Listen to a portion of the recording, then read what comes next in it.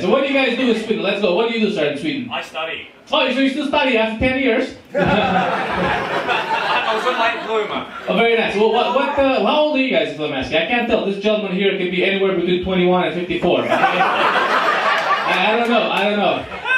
But I guess, but I guess he hangs around the kindergartens a lot. Yes, with that mustache. Yes, yes, yes. Gotta get them while they're young, yeah? That's where they can run. All right. I'm sorry for what happened to R. Kelly for 30 years.